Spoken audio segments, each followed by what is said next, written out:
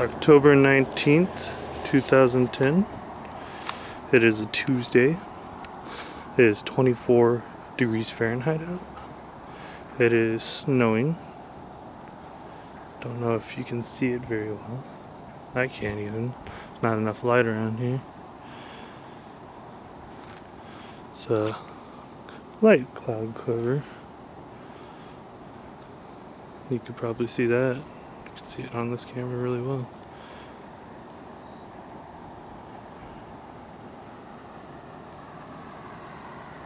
Seven AM.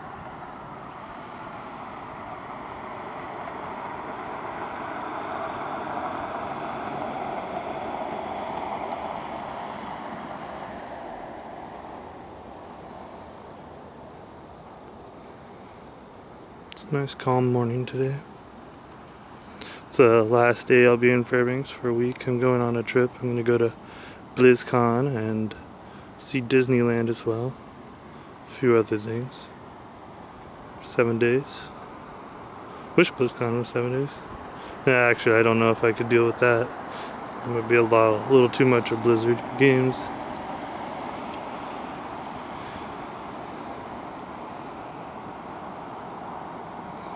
Yeah, this is Fairbanks, 7 a.m.